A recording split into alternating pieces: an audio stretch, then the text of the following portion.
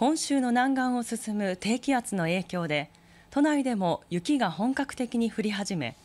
気象庁は積雪や路面の凍結による交通への影響に警戒するよう呼びかけています。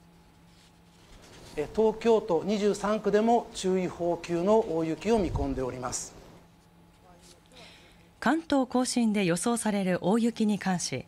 気象庁は国土交通省との緊急会見でピークは今日夕方から夜遅くになるとして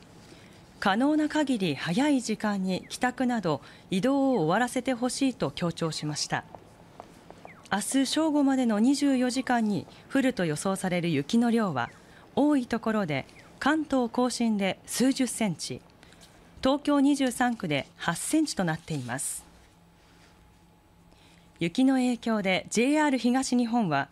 東京駅新宿駅から山梨長野に向かう特急かいじとあずさは